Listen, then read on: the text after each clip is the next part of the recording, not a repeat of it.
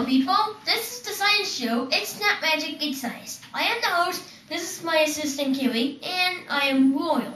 We are going to show you how simple circuits work. Kiwi, take it away. What you need to make a simple circuit is some wire, a light bulb, a light bulb holder, and a battery and a battery holder. All right, why don't you guys show them what a closed circuit looks like? Ta-da! This is what it looks like. Okay, and what does an open circuit look like? This Okay. is what it looks like. Kerri, can you explain to us how the energy flows in a closed circuit? In a closed circuit, it starts from the battery through the wire, through this wire, the, to the lamp holder, Mm-hmm. and to the light bulb, which makes it light up. And then it goes from the light holder through this wire to the battery again. Outstanding. Okay. Royal, what is a closed circuit? What is a closed circuit like? What is it similar to? Um, a closed circuit. Uh, this is like a racetrack. It's where all the race cars go around and around. Except, except this is a battery, battery holder, wires, lamp holder, and a light bulb. Okay. Instead of a racetrack, fans, and race cars. Okay, so what you're saying is, is a closed circuit is like a racetrack. When the racetrack is completely functional and it's there's no opens in it, there's no problems with it, the race cars can go around just like all the electrons can go around this circuit. But when you open up the circuit, it's like a piece of the racetrack was missing. Is that what you mean? Yeah. Okay. Um, Kerri, what are we going to show? What's one of the things we're going to show this people at home today? We're going to show you what Conductors what conductors and insulators and are. insulators are. All right. Why don't you guys, Kerri? Why don't you go ahead and explain to us one at a time? Show us the material you have and demonstrate for us whether it's a conductor or an insulator. Um, first, tell us what does a conductor do? Conductor is conductor energy means energy can flow through the material. Means electricity can pass through it. Okay. And That's Royal, what is an insulator? An insulator is a thing that electricity cannot go through, like my hand. Okay, very good. All right, that's a good demonstration. Okay, Kerri, why don't you go ahead and tell us tell us what the material is you're going to test, and then test it and tell us whether it's a conductor or an insulator, and you can make a pile here of conductors and insulators. I have a copper screw, Mhm. a bronze Bearing, bronze bearing, and a brass cotter pin. cotter pin. Okay, don't you First, test? I'm going to do the copper screw. And this would be a conductor because energy can pass through it. I'll go ahead and put it over here in a pile for you. And now I'm going to do the bronze Bearing. bearing. This is a conductor too because energy can pass through it. Okay, Now I'm going to do the brass cotter pin. brass cotter pin. This is also A conductor. a conductor because energy can pass through it too. Okay. Um, Roy, why don't you go ahead and test your three items? Alright. Start with the This, aluminum cotter pin. this is a aluminum cotter pin, Okay, test it for us. and just like we showed you, just like what yours did, this is a conductor because look at the light. You see it? Okay, here. Is it on? You try. Yes, it is. Very good. You tried the zinc screw. Well, let's try the zinc screw. Uh, It also works as well. Okay, and let everybody know that you're not touching the wires together. You're touching. You guys both were touching and are touching the wires to the object. And no, we were not touching the wires. It, because this is what because this is what it's not magic and science is all about. Now let's look at this. Look closely.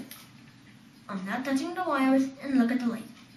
So that means the this is a steel washer. That means the steel washer is This this steel this is a steel washer and it's a conductor. okay. All right. What is what do you got? What do all these six items here have in common? They're all a type of Metal. all types of metal. So metal is a good conductor. Metals are good conductors. Metal, all types of metal are good conductors. Okay. Why don't you go ahead and test this glass, Royal? Now let's test this glass if, if it's the same thing. Nothing. Nothing at all. Okay, so what does that mean? It's a insulator. Okay, good. We'll make a new pile. So we've got insulators here. Okay. Why don't you test the plastic cup? It's also an insulator as well. How do you know that? Because because the plastic cup does not let electricity flow to the other wire. Okay. Now try First- the clothespin. Clothespin. First I'm gonna try the wood. And now I'm going Okay, what does that mean when you tried the wood? The light didn't come on. So the Yeah. wood is a insulator. okay. But there is metal on this thing. Oh, okay. Oh, the light's coming on. So what does that mean, Royal? The metal so this clothespin is a conductor and insulator. The metal on it is a conductor while the rest of it is a insulator. Okay, so let's put let's make we'll put that one in the middle because it's kind of both. All right, Kerri, and why don't you show us what you're testing? First, I'm gonna test this paper Tissue. tissue.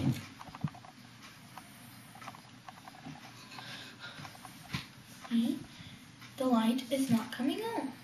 So that, means, means- it's a insulator. okay. All right, so paper's an insulator, Now I'm gonna try a piece of cardboard. which is like a different type of paper. Is a different type of paper. It's still nothing. It is also an insulator. Okay. Now I'm gonna try this plastic clip. Still nothing. It is also an insulator. Okay, so in review, if something is paper, glass, plastic, or wood, it is a Insulator. okay. But if it's metal, it is a Conductor. okay. Why don't you guys carefully put your circuits on the chair over there and get your magnets?